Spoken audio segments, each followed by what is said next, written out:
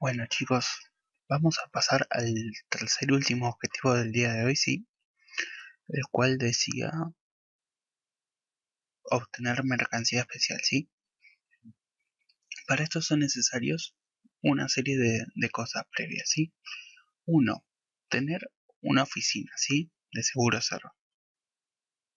No importa si es la más cara, la más barata, una, una oficina y un almacén de de mercancía especial, claramente, el cual se compra desde la misma computadora, ¿sí?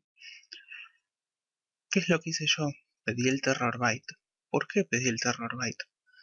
Porque te da la misma, esa misma facilidad, ¿sí? O sea, es como tener todos los negocios, por así decirlo, al alcance de la mano. Va, te los acercan bastante a donde estás vos, o sea, te ahorras el tener que trasladarte a las oficinas, en este caso, por ejemplo. Aunque en esta oportunidad no me lo acercaron tanto, pero en fin. Como verán, miren, me están invitando a partidas de tenis, así que asumo que no tendrán problema para completar ese objetivo.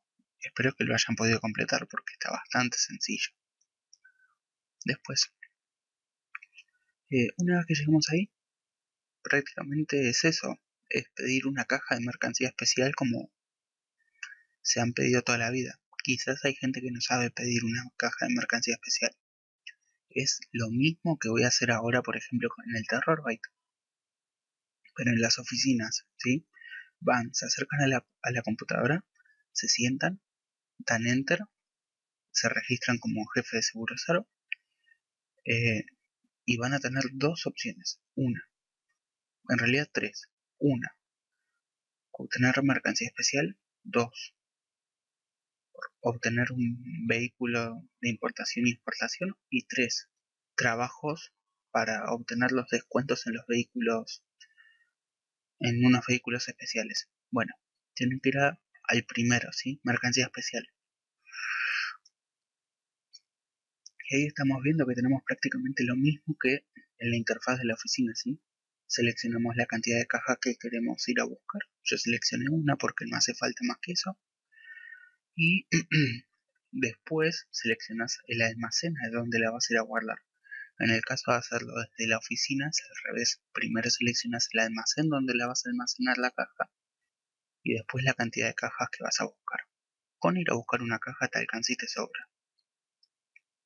Y como estaba con gente y la verdad que no sabía si, si les gusta el PvP o no, dije mejor, gasto 2000 solo y ya con 2000 hago perfectamente el objetivo.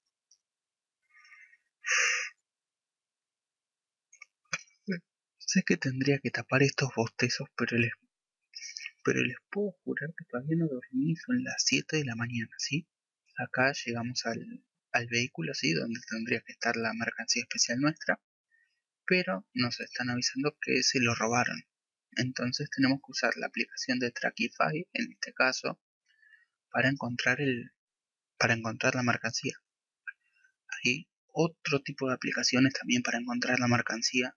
Hay otro, otras situaciones en las cuales nos roban, otros contextos en los cuales nos roban la mercancía y demás cosas, ¿sí? Son infinidad de cosas. Pero el objetivo obtener mercancía especial es básicamente esto. Vas a la oficina, en la oficina registrado como jefe de seguro cero, seleccionas la parte de mercancía especial en, la, en la PC y solicitas con una caja de mercancía especial te alcanza así, que sale 2000 y la vendes por 10.000.